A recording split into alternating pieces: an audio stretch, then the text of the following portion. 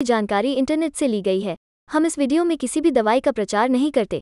किसी भी दवाई को इस्तेमाल करने से पहले एक बार डॉक्टर से ज़रूर सलाह लें। अगर आप इस वीडियो को देखकर किसी दवा का उपयोग करते हैं और आपको कोई साइड इफ़ेक्ट होता है तो उसमें हमारी कोई ज़िम्मेदारी नहीं होगी।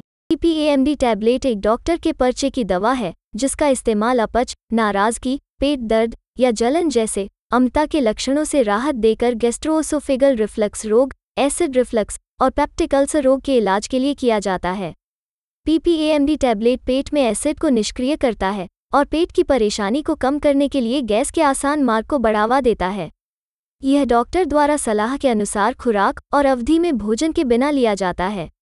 आपको दी जाने वाली खुराक आपकी स्थिति पर निर्भर करती है और आप दवा के प्रति कैसी प्रतिक्रिया करते हैं। जब तक आपका डॉक्टर सलाह देता है, तब तक आपको यह दवा लेते रहना चाहिए। यदि आप बहुत जल्दी इलाज बंद कर देते हैं तो आपके लक्षण वापस आ सकते हैं और आपकी स्थिति और खराब हो सकती है। अपनी स्वास्थ्य सेवा टीम को उन सभी अन्य दवाओं के बारे में बताएँ जो आप ले रहे हैं, क्योंकि कुछ इस दवा से प्रभावित हो सकती हैं या प्रभावित हो सकती हैं। सबसे आम दुष्प्रभाव दस्त, पेट दर्द, पेट फूलना, मुँह में सूखापन और सिर दर्द हैं। इनमें से अधिकांश अस्थायी हैं और आमतौर पर समय के साथ हल हो जाती हैं। यदि आप इनमें से किसी भी दुष्प्रभाव के बारे में चिंतित हैं तो सीधे अपने चिकित्सक से संपर्क करें। यह दवा चक्कर आना और नींद का कारण हो सकती है।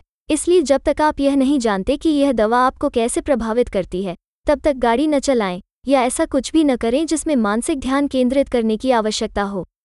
इस दवा को लेते समय शराब पीने से बचें क्योंकि इससे आपकी नींद खराब हो सकती है। जीवनशैली में बदलाव जैसे ठंडा दूध पीना और गर्म चाय, कॉफ़ी, मसालेदार भोजन या चॉकलेट से परहेज करना आपको बेहतर परिणाम प्राप्त करने में मदद कर सकता है। इससे पहले कि आप इस दवा को लेना शुरू करें, अपने चिकित्सक को सूचित करना महत्वपूर्ण है कि क्या आप गुर्दे या जिगर की बीमारी से पीड़ित हैं।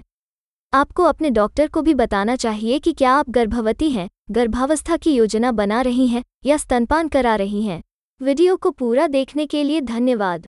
अगर आपको वीडियो अच्छी लगी हो तो वीडियो को लाइक करें और साथ ही हमारे चैनल को सब्सक्राइब करके नोटिफिकेशन बेल आइकॉन पर क्लिक करें और ऑल नोटिफिकेशन को क्लिक करें। धन्यवाद।